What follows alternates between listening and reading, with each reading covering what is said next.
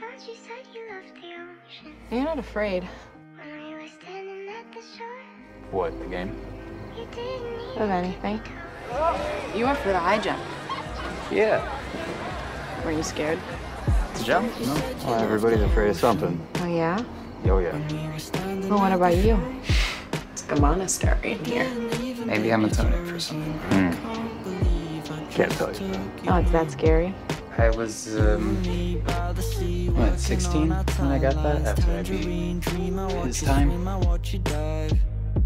Never forget the look on his face after I came out of the pit that day. Let's pretend it's always like this. It was the last day I saw him actually alive. live like kings. How come you never laugh? I laughed.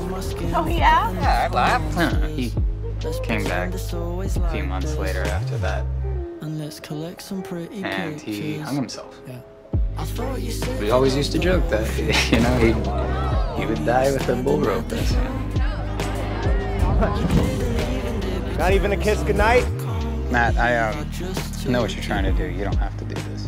What are you talking about? You're trying to get me to like you. You don't have to do that. I told you that I would be your partner. You know, I don't make promises that I can't keep.